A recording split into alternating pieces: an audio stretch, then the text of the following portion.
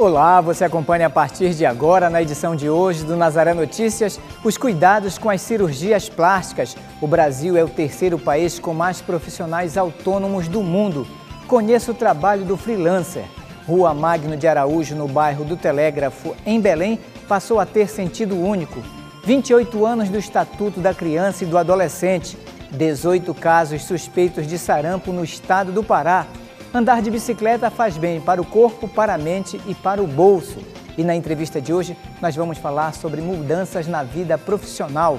Hoje é terça-feira, 24 de julho, e o Nazaré Notícias já está no ar.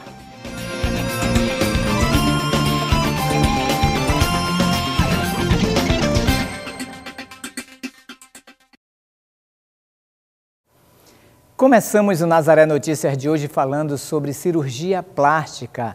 A morte de uma mulher que fez um preenchimento no corpo traz o questionamento sobre a necessidade de uma intervenção cirúrgica para melhorar a aparência, insatisfação com o corpo ou procedimentos reparatórios. Diversos fatores fazem com que um paciente procure a cirurgia plástica. Em contrapartida, segundo dados da Sociedade Brasileira de Cirurgia Plástica, o número de procedimentos não cirúrgicos tem crescido bastante nos últimos anos, chegando a 390%. De uns anos para cá, o comportamento dos brasileiros em relação às cirurgias plásticas vem mudando. De acordo com o censo de 2016 divulgado pela Sociedade Brasileira de Cirurgia Plástica, as operações com fins reconstrutores subiram 23%, enquanto as cirurgias com fins estéticos tiveram aumento de 8%. Há uma grande diferença entre os dois procedimentos. A cirurgia plástica, ela tem também a parte reparadora, aonde você encontra, por exemplo, crianças que nascem com fissuras lábio-palatais e já são atendidas logo de imediato, já nos primeiros meses de vida, começando a fazer os procedimentos e ao longo da vida dela vão fazendo outros para fazer essas correções. Você tem os queimados, também que são atendidos para corrigir as sequelas ou fazer os enxertos com a cirurgia plástica. A cirurgia plástica atua muito no trauma também, aqueles que perdem tecidos, pele, músculo e que precisam de coberturas, então são feitos enxertos e retalhos cutâneos e que são submetidos à cirurgia plástica para corrigir e melhorar sua, sua condição de vida.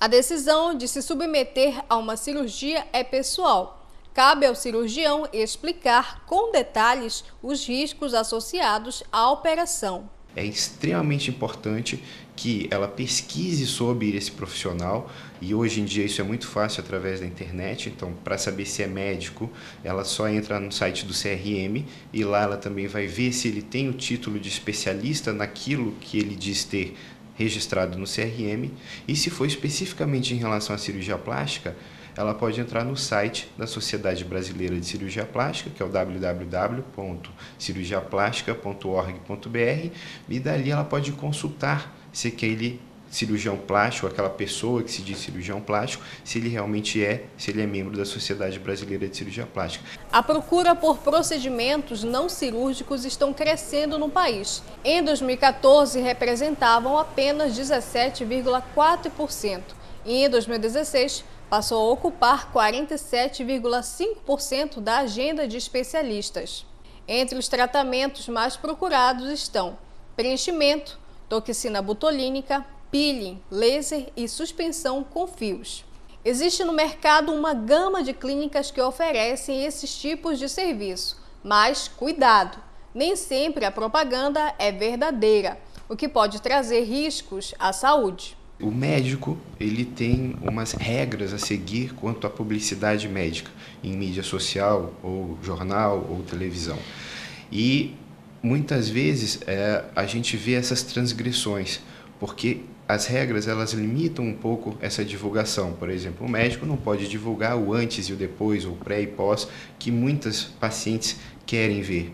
E aí você vai encontrar então aqueles que fazem um desvio ético, já mostrando o que elas querem ver, e com isso eles ganham até uma visibilidade maior, uma, um destaque maior, atuando de maneira não ética. Então, a todo médico ele é bem visto quando ele faz uma propaganda para fins informativos ou para fins de mostrar a titulação que ele tem e elucidar alguma coisa que vai ajudar a população e não para se autopromover. Na dúvida, procure sempre um médico. Existem procedimentos que são vinculados à cirurgia plástica, então devem ser feitos por cirurgiões plásticos outros procedimentos mais simples que podem ser feitos pelas clínicas de estéticas. Então, na verdade, é, depende do procedimento que ela vai realizar, ela tem que ver quem é que está apto a fazer esse procedimento. Os procedimentos mais complexos são realizados por médicos e aí tem que ser procurado um cirurgião plástico. Na dúvida, pode procurar um cirurgião plástico e ele vai saber direcionar para aquele melhor, para quem melhor possa fazer o procedimento. E agora vamos falar do número de violência no Estado. De um lado, a criminalidade, do outro, agentes de segurança pública em um circuito de guerra civil com mortes todos os dias. Para ilustrar esta informação, cinco PMs foram baleados no Pará neste final de semana e dois deles morreram. Com esses casos, o número de PMs mortos este ano no Pará subiu para 30, segundo a Secretaria de Segurança Pública do Estado. A Associação de Cabos e Soldados contabiliza 33, quase o mesmo quantitativo registrado durante todo o ano passado, quando 34 PMs foram mortos. Quando falamos de mudanças, as dúvidas são inúmeras. E se a mudança em questão está relacionada à profissão, a preocupação é ainda maior. Para saber como e quando realizar essa transição, Juliana Brito conversou com o consultor de carreira Tiago Fernandes. Pois é, Marcos, devido à instabilidade econômica que o Brasil enfrenta e à diminuição no número de empregos formais, as pessoas acabam optando por buscar outra profissão. Hoje a gente recebe o Tiago Fernandes, consultor de carreira, para mostrar para a gente, para dar algumas dicas de como esse processo deve ser feito. Muito obrigado pela sua participação. Como é que a que a pessoa deve estar atenta na hora de mudar de profissão? Pois é, realmente um mercado onde a única certeza são as mudanças, onde as mudanças sempre vão ser permanentes no mercado que é muito competitivo e muito exigente, é muito natural que você tenha um sentimento de querer mudar de profissão. Bom, primeiro grande ponto é você analisar se de fato essa profissão que você está ou iniciou ou continua já há alguns anos, se realmente ela não vai te dar um bom retorno. E quando eu digo um bom retorno, é satisfatório, tanto financeiramente falando, quanto prazer naquilo que você faz. Porque muitas das vezes a maré de repente não está boa naquele momento, e não quer dizer que essa profissão que você escolheu é uma boa, não é uma boa profissão. Então é importante ressaltar que o grande primeiro ponto, o grande primeiro passo é você de fato analisar se essa profissão é o momento, já é o momento de você trocá-la, se é o momento de você aguardar um pouco mais essa instabilidade. Bom, quando você fala de troca de profissão, não tem como você não avaliar a economia local. Então a economia do nosso país hoje, aconteceu isso de uma forma muito forte, até abril, ela veio respirando, ela veio dando índice de sinais que iria passar para uma recuperação. Hoje, infelizmente, de maio para cá, é, começou a ter uma queda bem significativa. Inclusive, infelizmente, a nossa economia vai começar a continuar caindo também. Eu creio, Juliana, que a partir de janeiro do ano que vem, a nossa economia vai começar a dar uma respirada, acabar essa, esse cenário político até uh, os empresários, as empresas voltarem a ter essa nova confiança de investir. Então, planeje. A palavra-chave é você ter um bom planejamento. Quanto tempo analisar quanto tempo você realmente vai precisar se recolocar no mercado. Muitas vezes, quando você troca de profissão, troca de segmentação de mercado, você precisa avaliar quanto tempo você vai conseguir a ter um bom investimento. Você vai empreender, vai ser autônomo, vai ter o próprio negócio, ou você vai querer seguir uma carreira como um profissional de uma empresa. Então, são situações muito importantes, porque não dá para ficar trocando todo dia, toda noite de profissão. Então é importante você de fato tomar uma decisão muito assertiva. Faça uma análise se essa profissão que você está, se tem boas oportunidades. Não, Tiago, toma a decisão e eu quero realmente estar trocando essa profissão. Então, case necessidade com oportunidade. Não só os seus desejos, não só os ganhos financeiros que você vai ter, porém, case as duas informações para você tomar a decisão correta. E às vezes as pessoas acabam mudando também, né, por conta de uma tendência de mercado. Uma profissão que está em alta, que está dando muita rentabilidade, deve ter cuidado também com isso, né? Verdade. Nós temos algumas profissões que realmente elas vêm dentro de uma modinha, eu vou chamar assim. Hoje é muito moda você conhecer pessoas que querem ser gestores de marketing digital, pessoas de redes sociais que vão administrar, que vão gerir. É muito bom, sem dúvida. Mas cuidado para você não agir por impulso, não ter uma influência de uma moda. A profissão de marketing, o gestor de marketing, é uma profissão muito antiga, porém a de gestão de mídias sociais, uma profissão nova, que ela requer que você tenha domínio de língua portuguesa, que você conheça de fato os produtos que você vai estar oferecendo. Por exemplo, algumas profissões novas que irão crescer muito nesse mercado que de repente você pode ficar atento para aproveitar as oportunidades que vão estar surgindo. Por exemplo, gestor ambiental é uma profissão que vem crescendo, que vai continuar crescendo pelos, pelas mudanças drásticas que o meio ambiente vem surgindo. Outra profissão importante que de repente você vai gostar é de professor de educação à distância, o professor de cursos online. De repente você que já é professor, que é instrutor, você que é jornalista, já sai na frente, sabemos das dificuldades, o desafio que são você falar em frente de uma câmera. Então você que de repente já tem um conhecimento, tem um conteúdo, criar uma plataforma onde você possa vender o seu conhecimento e eu te garanto, nos próximos anos a educação à distância vai ser um desafio, vai ser uma grande oportunidade para você ganhar dinheiro e também para milhares de pessoas estar se qualificando à distância, pelo tempo, pelo corre-corre que hoje existe na sociedade. E existe um momento certo ou um momento errado para fazer essa mudança de profissão? Porque, assim, é, é existe uma idade propícia para fazer, esse, ou até tal idade você pode fazer essa mudança. Como é que é?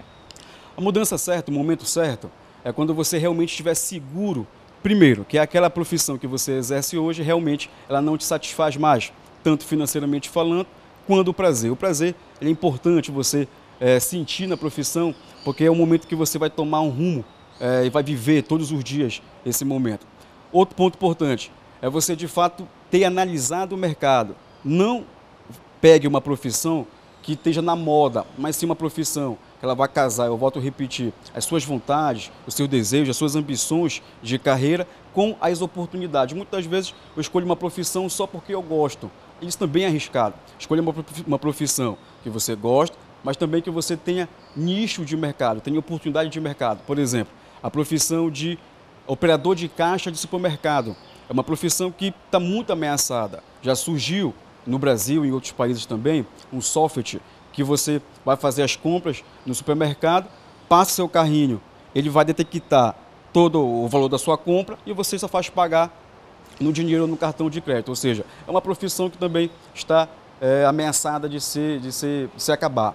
Uma outra profissão também que tem um risco de estar tá acabando é o operador de telemarketing. Hoje você observa os bancos, as grandes empresas, pequenas também empresas de pequeno porte e médio porte, já tudo eletrônico, né? Você liga para uma central e você já consegue é, ter um atendimento tudo eletrônico, tudo automatizado. Então, cuidado com profissões que têm um risco de se acabar e ficar muito atento com profissões que estão surgindo. E quais são as áreas mais propensas a absorver esse profissional que está mudando de área? Sem dúvida, uma das áreas que você tem que estar muito atento é a área da tecnologia. O mercado hoje, Juliana, ele é movido pela tecnologia e pela inovação. Então, quem inova é o ser humano através da tecnologia. Então, o mercado ele vai ser sempre modificado pelas novas tendências de tecnologia. Eu volto a repetir. Por exemplo, gestor de mídias sociais, uma profissão que vai continuar crescendo, uma profissão que vai arrebentar e que você pode já começar um planejamento. Óbvio, requer tempo para você de fato se tornar um bom profissional, um, dois, três anos e começar a oferecer o seu mercado. Engenheiro, engenheiro hospitalar.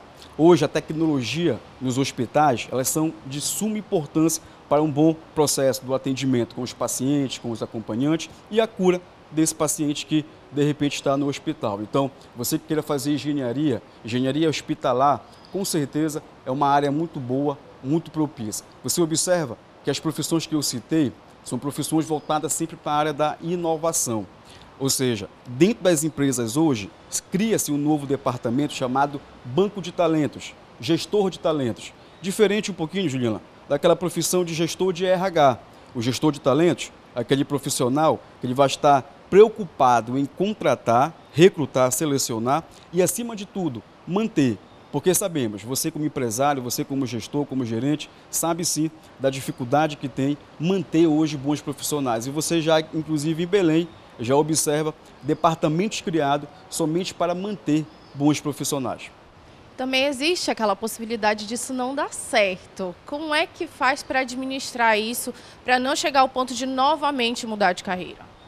Exato. Nós sabemos sim que toda decisão que você toma é uma decisão que você vai correr riscos, e o risco de dar certo e também o risco de dar errado.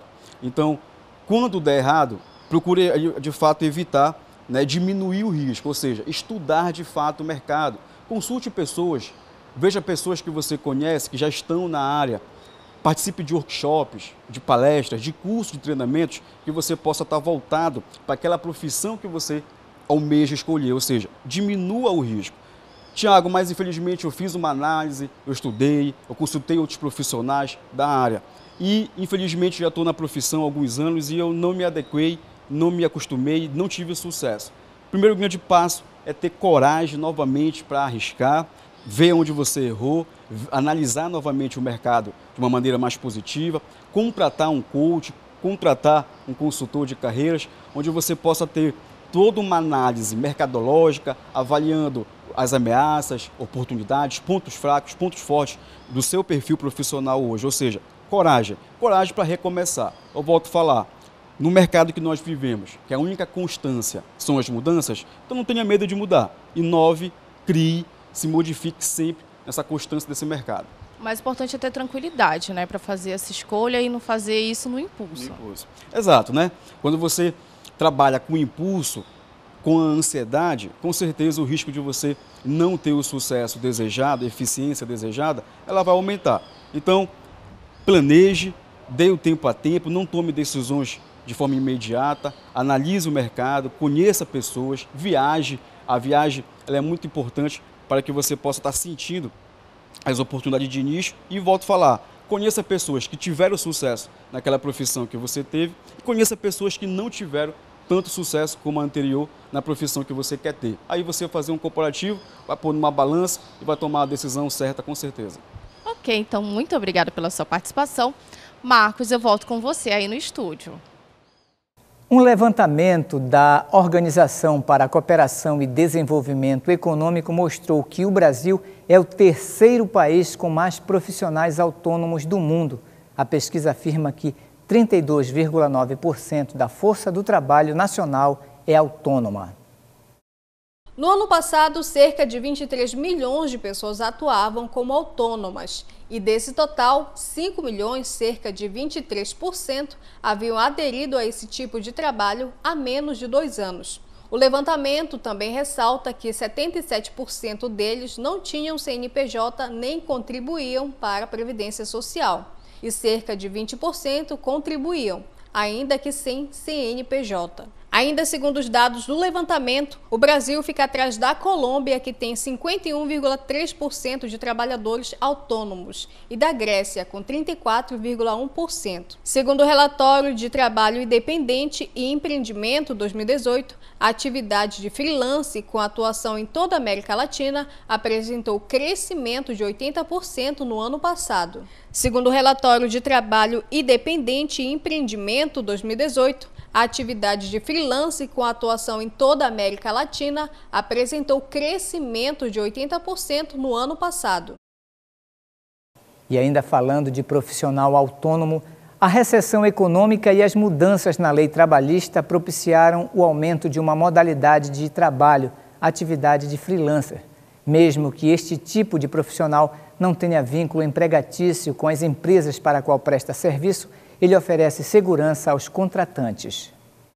A rotina do Wilson é mais ou menos assim: tecla de lá, anota daqui, liga dali, sem parar. É que há 10 anos ele decidiu se tornar freelance no ramo de produção audiovisual. Eu saí de uma produtora daqui regional aqui, daqui de Belém e logo na saída eu saí hoje da produtora.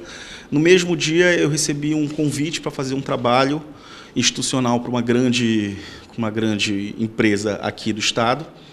E esse trabalho durou 45 dias. E a partir daí eu acabei me jogando no mundo dos freelas, que a gente chama freela, né? Assim como ele, muitas pessoas estão se aventurando nesse tipo de trabalho. O motivo? A reforma trabalhista e a recessão econômica brasileira. E o freelance ele é nada mais do que um profissional liberal, um profissional autônomo. É um prestador de serviço. Então esse mercado hoje ele cresce de uma forma espontânea, né, de uma forma muito grande. Né? Hoje é, é, as pessoas que nos assistem elas não estão mais preocupadas ou querem, de fato, contratar um funcionário de CLT, contratar uma empresa para que possa fazer, por exemplo, um serviço de uma pintura de uma casa, de uma prestação de serviço, por exemplo, uma parte de estética, de beleza. Então, com certeza, o freelancer hoje é um profissional que desponta e vai, vai continuar crescendo muito nos próximos anos aqui no Brasil. De acordo com o relatório de trabalho independente realizado pela Orkana, o número de freelancers na América Latina aumentou 80% só em 2017. Os profissionais da comunicação são os que mais atuam nesse mercado. É um dos perfis principais que ele tem que ter, primeiro, é dominar 100% aí o máximo possível da língua portuguesa. Né? Esse profissional que vai trabalhar com textos, vai trabalhar vendendo, né? criando campanhas, ele tem que dominar, sem dúvida, a língua portuguesa. Outro ponto importante, Juliana, é esse profissional ter vontade de aprender sempre, sempre pesquisando novas ideias, sendo criativo. E quando eu digo criativo, não é aquele alguém que vai sempre estar inovando algo. Criativo é aquele que você tem uma capacidade de pegar um texto, de pegar uma ideia e melhorar e adequar de acordo com aquele seu cliente.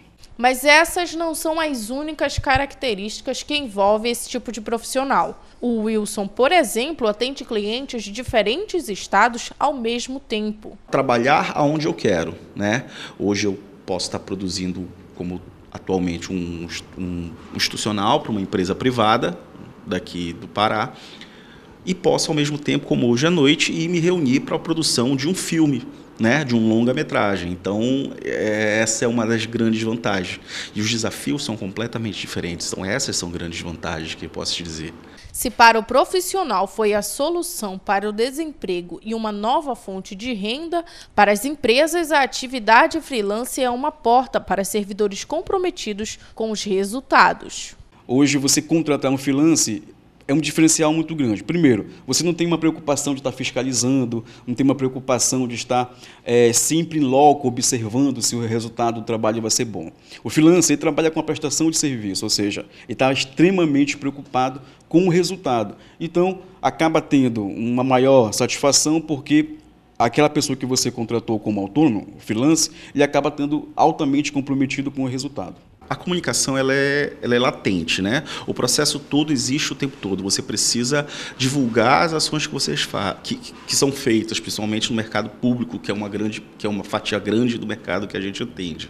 Não só o governo do estado, prefeitura, mas também outras instituições públicas. Ah, não existe em Belém um mercado de produção, não existe em Belém uma graduação audiovisual para a gente poder estar tá galgando espaços e abrindo caminhos por aí. Não, existe a experiência e o bom trabalho. Se você é bom no que você fez um negócio legal, acabam te indicando para outra coisa. Para quem pretende investir nesse modelo de trabalho, é bom estar atento a alguns pontos. Então, primeiro, entenda, entenda de gestão, de liderança, de comunicação, seja alguém muito comunicador, não perca as oportunidades nas redes sociais de estar divulgando o seu trabalho, se torne um alguém especialista naquele serviço que você vai estar trabalhando, não seja alguém generalista, né, que sabe de tudo. Hoje o mercado não tem mais esse espaço do famoso sabe tudo, mas sim aquela pessoa que se especializa, que oferece um serviço de qualidade. Outro ponto importante, trabalhe sempre muito bem com os feedbacks, ou seja, com os retornos com o seu cliente. Trabalhe pesquisas,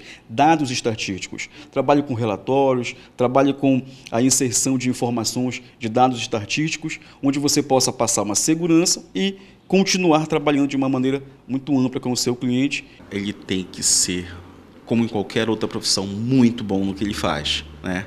Que é isso que vai te levar para frente. Como freelancer, você depende literalmente das, das indicações, você, do, do que você produziu, do que você fez. Se foi bom, vão falar bem pra caramba de ti e vão te indicar. Se foi ruim, então Literalmente, a pessoa tem que ser boa no que faz e extremamente organizada financeiramente. Porque assim você tem um mês maravilhoso. Você trabalhou quatro semanas, tá ótimo. Mas mês que vem não vai aparecer nada. E aí, como é que você faz? E agora nós vamos falar de educação. O Ministério Público Federal do Pará enviou notificação à Prefeitura e à Secretaria de Educação de Belterra, no oeste do Pará, em que recomenda a tomada de providências urgentes para habilitar escolas indígenas do município ao recebimento de repasses de recursos federais. Também foi recomendado que, enquanto os indígenas não forem consultados, não seja tomada nenhuma medida para a transferência da gestão das escolas para o governo do Estado. A consulta deve ser livre, prévia e informada. A recomendação faz parte de investigação do Ministério Público Federal, aberta após a instituição ter sido informada que o município não pretende cadastrar no censo escolar deste ano escolas das terras indígenas Bragança, Marituba e Munduruku, Taquará. A Prefeitura e a Secretaria Municipal de Educação têm até hoje para tomar as providências recomendadas. Desde o último sábado, a Rua Magno de Araújo, no bairro do Telégrafo, aqui em Belém, passou a ter sentido único. A via que era de mão dupla passa a ter sentido único entre as avenidas Pedro Álvares Cabral e Senador Lemos. Os motoristas devem ficar atentos para outras mudanças que ocorrerão no perímetro nas próximas semanas. A mudança de sentido será para preparar a Avenida Pedro Álvares Cabral para receber uma ciclofaixa que se estenderá até a Visconde de Souza Franco. Segundo a Superintendência Executiva de Mobilidade Urbana de Belém, esta será uma das primeiras mudanças que ocorrerá no entorno da avenida que receberá a ciclofaixa. Apoiadores operacionais vinculados à CEMOB estão no local durante 15 dias para orientar os motoristas que trafegam pelas vias. Ainda de acordo com a superintendência, outras vias no entorno da Pedro Álvares Cabral terão sentido único nas próximas semanas. São elas as avenidas Jalma Dutra, Municipalidade e as ruas Una e José Pio. E você pode participar da produção aqui do Nazaré Notícias. É só enviar para nós sugestões de entrevistas ou de reportagens para o nosso WhatsApp, número 988023444, e aí você informa o seu nome e a sua cidade.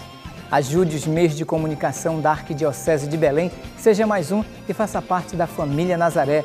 Ligue 4006-9211. E você acompanha ainda nesta edição 28 anos do Estatuto da Criança e do Adolescente, 18 casos suspeitos de sarampo no estado do Pará. E andar de bicicleta faz bem para o corpo, para a mente e para o bolso. Voltamos com Nazaré Notícias e agora vamos falar sobre o Estatuto da Criança e do Adolescente. Este mês, o Estatuto da Criança e do Adolescente completa 28 anos. Resultado de uma convenção da Organização das Nações Unidas, o Estatuto busca garantir os direitos de crianças e adolescentes em todos os âmbitos sociais. O Estatuto da Criança e do Adolescente entrou em vigor no Brasil em julho de 1990, a partir da Lei 8069. Nele são garantidos os direitos e deveres de meninos e meninas com menos de 18 anos, relacionados à saúde, educação, alimentação, lazer, entre outros. Desde então, muitos avanços foram conquistados nesse sentido. Então, são dois pontos importantes que o Estatuto inaugura. Primeiro, que crianças e adolescentes são sujeitos de direitos. E segundo, que em relação a qualquer formulação de política pública, eles têm prioridade absoluta. Nesse aspecto, outro ponto também deve ser comemorado. Como, por exemplo, a questão do trabalho infantil.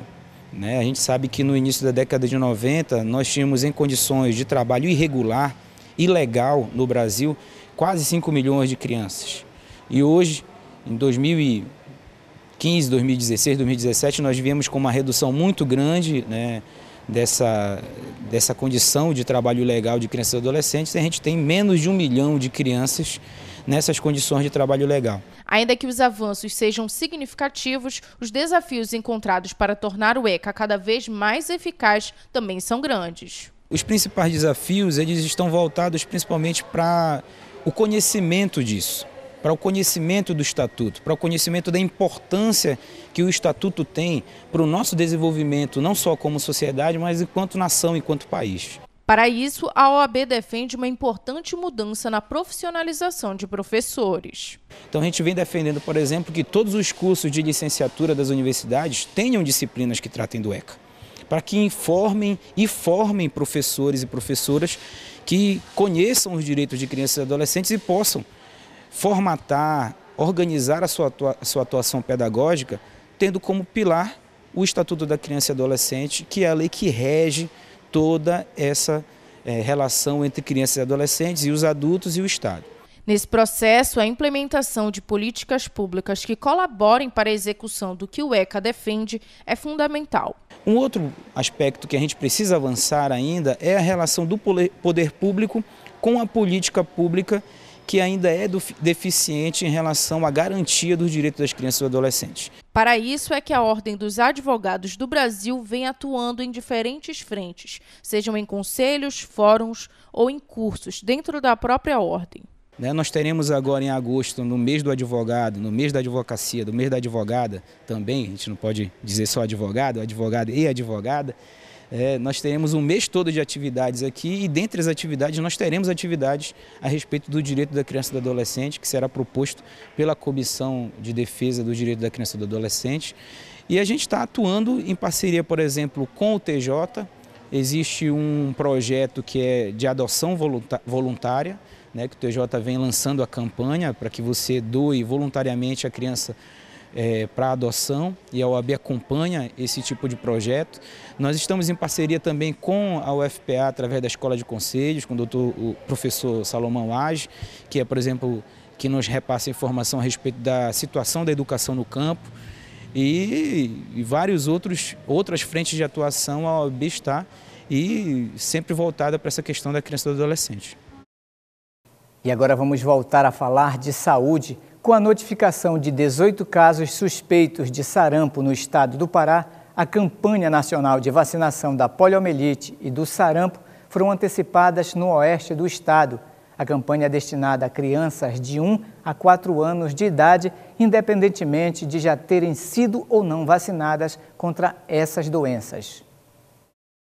A campanha deveria começar oficialmente em todo o país no dia 6 de agosto, mas em algumas cidades a campanha foi antecipada duas semanas antes. No oeste do estado do Pará não foi diferente. A finalidade é ampliar a cobertura vacinal, cuja meta nacional é de 95% do total de vacinas. Nos postos de saúde podem ser encontradas a vacina oral da poliomielite, a triviral, que protege contra o sarampo, cachumba e rubéola, para crianças de 12 meses, e a tetraviral, contra sarampo, cachumba, rubéola e varicela, para crianças de até 15 meses. Nos locais onde há casos registrados ou suspeitos, as equipes de saúde estão fazendo bloqueio vacinal, estratégia que busca imunizar todas as pessoas da área para que não haja circulação da doença. E vamos falar de educação superior. As inscrições para o FIES para o segundo semestre de 2018 foram prorrogadas até hoje. E para se inscrever é preciso acessar a página do FIES na internet a data da divulgação do resultado também mudou e vai acontecer no dia 30 de julho. Nesta edição, são 155 mil vagas ofertadas, sendo 50 mil com juros zero. Segundo o Ministério da Educação, a prorrogação foi feita porque o sistema apresentou falhas e estava ofertando vagas que não existiam. E para não prejudicar os alunos, o MEC decidiu prorrogar o prazo de inscrição do processo por mais dois dias. Segundo o MEC, até amanhã desta segunda-feira já haviam sido concluídas 170.190 inscrições e podem participar da seleção estudantes que fizeram o Enem a partir da edição de 2010 e obtiveram média aritmética das notas nas provas igual ou superior a 450 pontos e nota na redação superior a zero. E para acessar o site é só entrar no www.fiesseleçãoaluno.com www.mec.gov.br.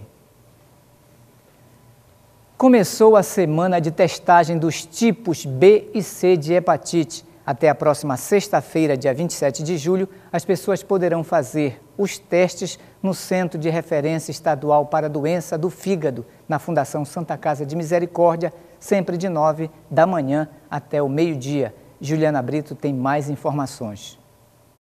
Pois é, Marcos, a iniciativa faz parte da campanha Julho Amarelo, que previne e controla as hepatites virais. Para o encerramento dessa campanha, que começou logo no início de julho, será realizada uma ação no mercado do Ver o Peso na manhã do próximo sábado. Lá serão realizadas testagens dos tipos B e C das hepatites, além de contar também com a apresentação da cantora Gina Lobrista. No interior do estado, a testagem e o tratamento são feitos nos seguintes pontos.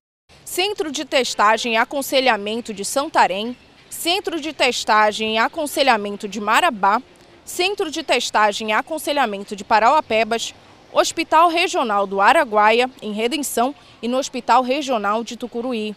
Para todos esses locais, é essencial que o cidadão seja encaminhado pela unidade de saúde mais próxima da sua residência. Para entender como é que funciona essa campanha e seus objetivos, confira agora a reportagem. O objetivo do Julho Amarelo é a gente levar orientação, prevenção a todos os municípios de Belém. Né? Porque tardiamente, se a pessoa descobrir que ela tem hepatite B ou C, pode levar o indivíduo até a morte. Para que isso seja possível, diversas ações educativas serão desenvolvidas ao longo de todo o mês.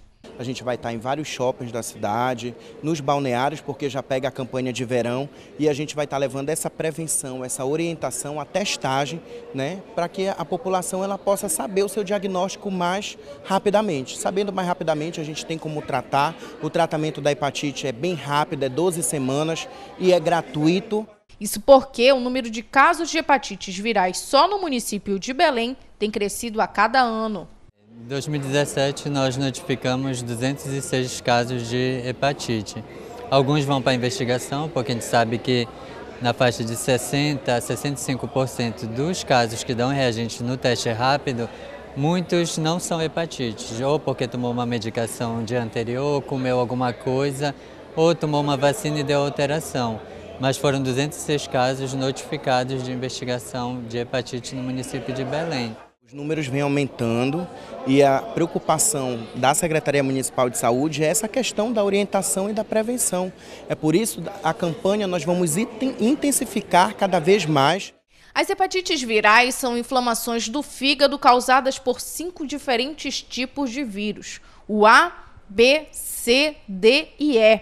Os tipos B e C são os mais graves, mas todos têm tratamento. A partir do momento que a gente diagnostica um paciente, a gente faz todos os exames, ele fica apto a receber a medicação na unidade que hoje em Belém vai ser o Casa Dia, né? nossa unidade de referência. O atendimento na Casa Dia ele funciona de 7 da manhã às 18 e a pessoa que for diagnosticada com hepatite B ou C, ela precisa vir referendada das nossas unidades básicas de saúde e precisam ser munícipes de Belém sobre o diagnóstico. Nós temos hoje, além do CTA e Casa Dia, 73 unidades, entre o MS e a ESF, que é a Estratégia da Família, realizando o teste rápido para hepatite B e C.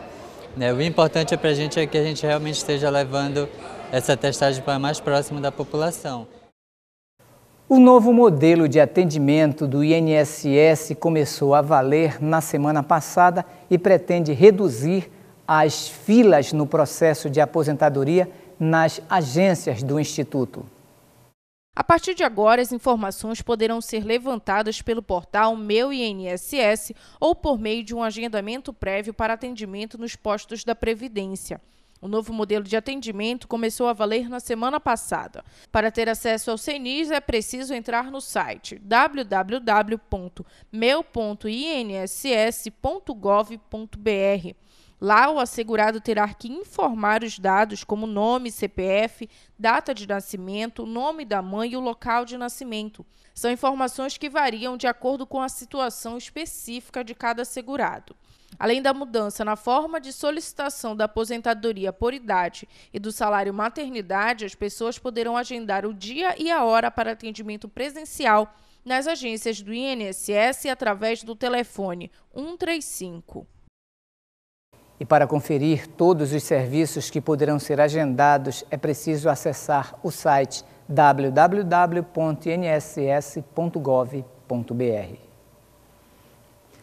Amanhã, os motoristas de Belém se preparam para homenagear seu padroeiro. É a tradicional procissão de São Cristóvão que acontece há 104 anos. A procissão rodoviária vai trafegar as principais ruas de Belém.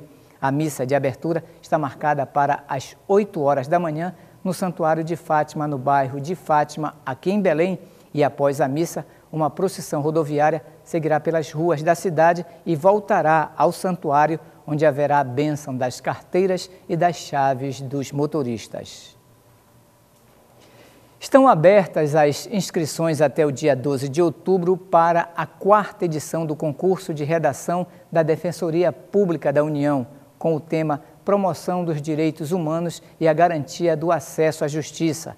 A disputa visa promover a reflexão e o debate sobre a situação carcerária do Brasil, assim como divulgar o trabalho da DPU na prevenção e combate às violências de direitos humanos e às pessoas em situação profissional do país. Priscila Pinheiro tem mais informações. Marcos, os estudantes amapaenses interessados em participar do concurso de redação podem se inscrever exclusivamente pela internet no endereço concurso de redação.dpu.df.br podem participar estudantes matriculados regularmente no ensino fundamental, ensino médio na educação de jovens e adultos. Além disso, está incluído também os jovens que cumprem medidas socioeducativas. O resultado final da redação sai no dia 16 de novembro. Priscila Pinheiro para o Nazaré Notícias. Quem ficar em Belém na última semana de julho, ou seja, neste final de semana, poderá assistir um espetáculo nos céus da capital paraense. Em meio ao cenário do verão amazônico, os aviões da Esquadrilha da Fumaça farão apresentação especial sobre a Baía do Guajará com as acrobacias aéreas que há mais de 60 anos encantam o Brasil e o mundo. O público poderá acompanhar o show aéreo na próxima quarta-feira, às 16 horas, na orla da Estação das Docas. A entrada é gratuita. O Museu Sacaque, em Macapá, está promovendo uma série de atividades recreativas voltadas para as crianças e a semana de férias no museu. A programação começa hoje e segue até o próximo domingo, dia 29. Juliana Brito tem mais informações. É isso mesmo, Marcos. A programação está recheada de recreações, jogos e oficinas, todos voltados para a diversão da criançada. Para participar, basta que a criança esteja acompanhada dos pais ou dos responsáveis. Vamos conferir agora tudo o que ocorre nessa programação. Nesta terça-feira haverá brincadeira de roda, visita mediada no regatão, amarelinha, pinturas e contos. Na quarta-feira, dia 25, haverá visita mediada no regatão novamente, jogos, passeios de canoa, pinturas e tênis de mesa. Na quinta-feira, haverá pinturas, oficinas de bonecas, visita mediada no regatão, jogos e tênis de mesa. Na sexta-feira, a programação contará com teatro, pinturas, tênis de mesa, jogos e visita mediada no regatão. No sábado, haverá visita mediada no regatão, pinturas, oficinas de pipa, jogos e tênis de mesa. Já no domingo, haverá jogos, tênis de mesa, exibição de filmes das 10 da manhã até as 2 da tarde, caça ao tesouro somente às 4 da tarde e visita monitorada no regatão. A semana de férias no museu será realizada no Museu Sacaca, que fica localizado na Avenida Feliciano Coelho, número 1509. A programação começa hoje, dia 24 de julho, e segue até o dia 29, sempre de 9 da manhã até as 5 da tarde. E o mais importante, é tudo gratuito. Juliana Brito para o Nazaré Notícias. Ela faz bem para a mente e para o corpo evita o uso de combustíveis e não polui. As bicicletas são econômicas, reduz o tempo de percurso, além de desafogar o trânsito. Muitos estão aderindo à prática da atividade como forma de bem-estar e condicionamento físico. O amor pelo esporte é incentivado desde muito cedo para a filha da professora Bárbara.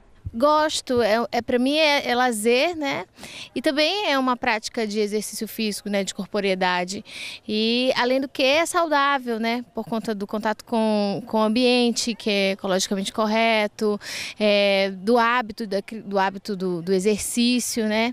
Eu mesma estava um pouco sedentária e com o espaço, a gente, e a proximidade de ser é, perto de casa, a gente começou a vir para pegar um sol, para caminhar, também para trazer a bicicleta e praticar um esporte, né? E aí faz bem e cria um hábito desde cedo, né, no, na filha. A pequena Eduarda, de 7 anos, também gosta muito de pedalar. E você vem sempre com quem aqui passear de bicicleta? Com a mamãe. Para o educador físico Elder Neri, o uso de bicicletas pode trazer inúmeros benefícios ao corpo. A gente pode considerar predominantemente né, o condicionamento cardiovascular e nesse aspecto é, auxilia bastante no controle do peso, é, benefícios psicológicos, tudo, tudo também. E nesse sentido, é, um dos grandes diferenciais do ciclismo é que essa prática é uma prática extremamente democrática, ou seja, praticamente todas as pessoas têm condições né, de praticar. O Miguel utiliza a bicicleta para o lazer nos finais de semana. Assim, todo final de semana eu utilizo a bicicleta para sair do sedentarismo, né? Acho que é muito bom fazer essa, essa atividade física, né? Que a gente passa a semana tão agoniado, tão apertado assim para fazer atividade. É sempre bom espantar a preguiça e fazer uma atividade física no final de semana. Saúde e qualidade de vida. Quando você pedala, você se movimenta durante todo o percurso, ficando ainda mais saudável e mais feliz. Tem benefícios vários benefícios, né? E esse benefício sistêmico, né? Benefício geral, é bem, bem interessante, é bem relevante mesmo. Quando você pedala, você tende a aumentar a sua frequência cardíaca, né? E diferente, por exemplo, da corrida ou de outras atividades que têm um pouco mais de impacto, é, você consegue ter esses benefícios com mais segurança. Por isso que eu falei né, a respeito do fato do ciclismo ser um esporte bem democrático, uma atividade bem democrática. Com certeza, faz bem para a saúde. Eu venho aqui pelo menos mais três vezes ao dia. Além de fazer bem para a mente e o corpo, as bicicletas são econômicas, evitam o uso de combustível e estacionamento reduz o tempo de percurso, além de desafogar o trânsito. E por falar em trânsito, alguns equipamentos são essenciais para a segurança dos ciclistas nas ruas. É fundamental que você também leve em consideração, tá? Os aparelhos, o aparelho básico, assim, principal que deveria ser indispensável é o capacete, né? tanto o ciclismo urbano quanto esse ciclismo que a gente pode praticar é, em parques ecológicos, é, orlas e tudo mais. Por quê? Porque o capacete ele te protege de um acidente ciclístico, certo? Então, uma pequena queda, de repente um galho, é, uma manga, né? A gente mora na cidade das Mangueiras. É muito importante que você use para evitar qualquer tipo de transtorno aí, né? E essas foram as notícias de hoje. Para dar sugestões de entrevistas ou de reportagens, envie para o nosso WhatsApp, número 988023444. Mas se você quiser rever nossas reportagens, acesse o portal Nazaré www.fundacionazaré.com.br ou acesse a nossa página no Facebook. Ajude os meios de comunicação da Arquidiocese de Belém, seja mais um e faça parte da família Nazaré. Ligue 4006-9211. O Nazaré Notícias de hoje fica por aqui. Nos encontraremos amanhã na próxima edição. Até lá!